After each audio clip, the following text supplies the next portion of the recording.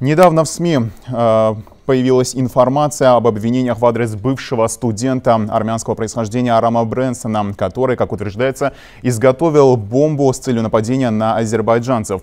Этот инцидент подчеркивает существование и рост радикальных настроений среди армян, как в диаспоре, диаспоре так и в Армении. Он служит очередным свидетельством того, как азербайджанофобия и туркофобия продолжают укореняться, распространяться в этих кругах, что требует более пристального внимания и осуждения со стороны международного сообщества. Ну а подробнее тему обсудим с гостем на прямой связи со студией Азар Аллахверанов, политический аналитик. Азар Малим, здравствуйте. Как слышите нас?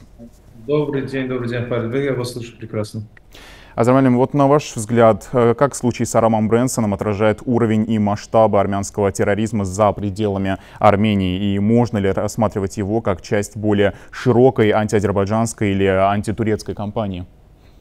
Э, безусловно, это не то, что э, какая-то отдельная часть или какой-то отдельный фрагмент или эпизод из той а, э, борьбы террористической, которую ведет, скажем, различные армянские террористические организации против Азербайджана, да и против Турции тоже. Это всего лишь один из элементов. То есть я не думаю, что это, а, скажем, ну, в своем чисто процентном соотношении это может быть даже всего лишь меньше, чем 1%. Но тем не менее, это э, часть той большой э, политики, которая ведется в отношении, в частности, вот такой террористической э, деятельности в отношении э, и азербайджанцев, и, и турков и так далее. То есть и, и это не новое, и тут нет ничего удивительного. Дело в том, что э, конец 19 века, э, он в первую очередь ознаменовался также и тем, что а прошла так называемая волна создания армянских террористических организаций в различных частях света. А, например, взять хотя бы, скажем, э, партию Армянакан, а, которая была создана в 1885 году, которая, по сути, является той организацией, которая занималась непосредственно проведением террористических актов, а также Э, вооруженных столкновений в различных городах и регионах, в первую очередь, безусловно, Турции. Но, тем не менее, мы прекрасно знаем, что этот же Арминакан имел очень тесное отношение э, с подобными организациями, которые функционировали на территории Ирана, так и на, в том числе и на территории России. Или же взять хотя бы другую террористическую э, партию, которая Ханчак называется, она была создана в 1887 году в Женеве. А эта партия также непосредственно занималась тем, что э, организовывала а, террористические акты в отношении и представителей дипломатического корпуса э, Турции, а, ну, а впоследствии и, скажем, в том числе и представителей дипломатического корпуса и Азербайджанской демократической республики, или же взять ту же самую Дашнактисюн, которая была создана в 1890 году а, в Тифлисе, и которая имеет очень такую разветвленную сеть, и эта разветвленная сеть, но тут, тут не только а, скажем, Грузия, тут не только Армения, это тут и другие э, страны, это и Турция, это и Ливия, и другие страны, там, где функционируют а, отдельные а, так называемые, ну, скажем, филиалы э, вот этой партии Дашна.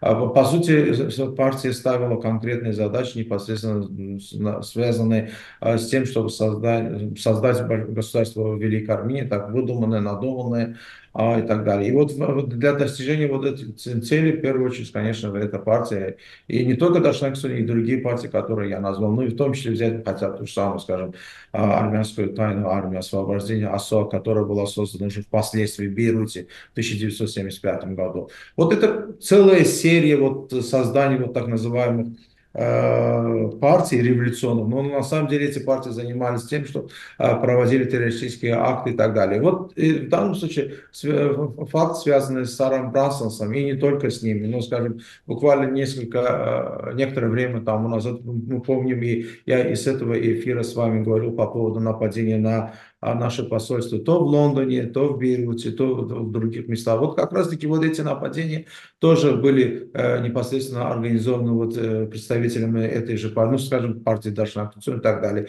И есть конкретные факты по поводу того, что и представители, или же определенные лица, которые связаны с, с руководством Асала тоже непосредственно принимали участие, потому что в Бейруте, например, э, были факты также физического, применения физического насилия и так далее. То есть это все говорит о том, что э, все-таки вот, э, вот идеология, пропитанная сплошь и рядом вот так называемым терроризмом или же проведением террористических актов, дабы устрашить, дабы испугать и так далее, дабы предотвратить тот ход событий исторических, которые имеют место а, и они всецело, естественно, направлены на, в первую очередь, естественно, на а, то, чтобы а, добиться э, тех результатов, посредством которых впоследствии, скажем, вот эти же, эти же террористические организации, уже будучи, скажем, определенной ветвью, скажем, общемирового такого террористического, скажем,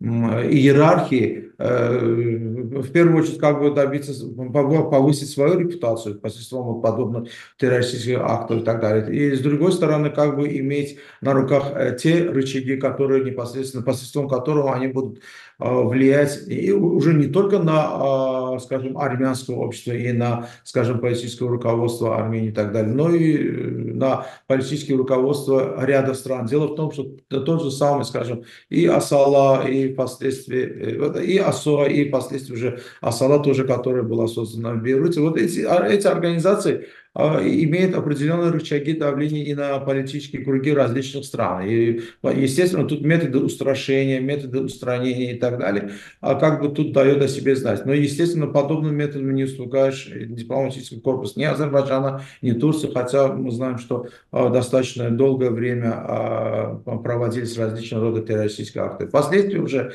например, взять хотя бы бытность Советского Союза, те взрывы метро, которые учинялись э, в Москве, и так далее. Вот есть судебные дела по этим делам, по этим э, событиям, и конкретно, причем черным по белому написано, э, кто принимал участие и так далее. Взять хотя те же события, которые мы, мы имеем уже в бытность независимого Азербайджана, это взрывы на метро, в Бакинском метро, взрывы, э, э, скажем, э, автобусов и так далее. То есть то есть вот это суть э, всех этих э, партий, ну, доставить там какие-то политические цели, но для, для достижения вот этих политических целей эти партии применяют, естественно, а, э, самые незашленные есть незаконные методы, в том числе и методы применения террористических актов и так далее. То есть вся террористическая, вот эти партии, они как бы пропитаны вот проведением вот подобных а, террористических актов, и без этих актов, естественно, эта партия а, не имеет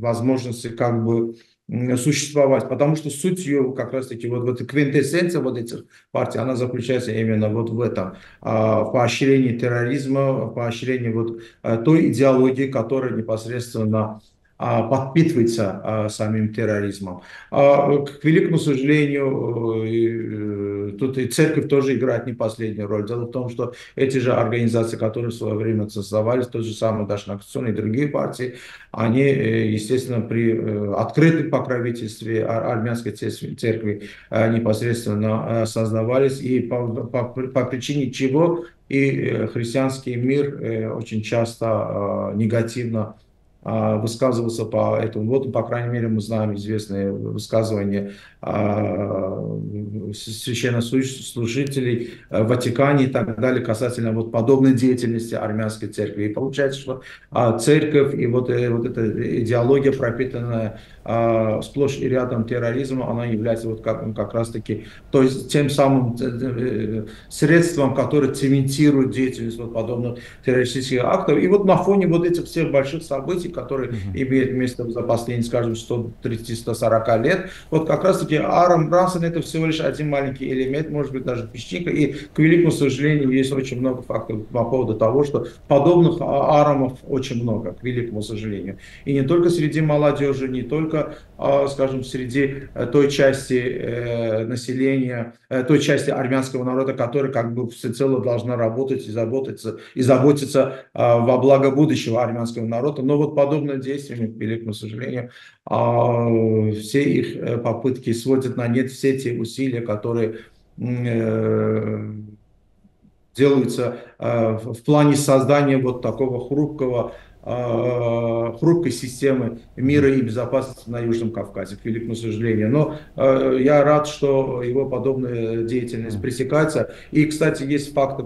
есть информация по поводу того, что он сейчас скрывается на территории Армении. И это еще раз подчеркивает ту суть э, политического руководства Армении, которое, скажем, в своем одном эпизоде или э, в, своем, в, своем, в своей одной особенности э, как раз-таки является так называемым покровителем и подобных действий тоже, к великому сожалению. И посредством вот подобных действий все-таки армянское руководство пытается все-таки, наверное, поддержать тот дух реваншизма, который еще витает в армянском обществе, хотя это ничего такого хорошего и благого не судит не, всему армянскому народу и, и в целом армянской государственности. Да, большое спасибо, Азар Малим, спасибо, что уделили нам время, подключились к нашему эфиру. Да. Всего доброго. До свидания, до свидания. А я напомню, что на прямой связи со студией был Азер Аллахверанов, политический аналитик, с которым мы обсудили тему армянского терроризма и азербайджанофобии в армянском обществе.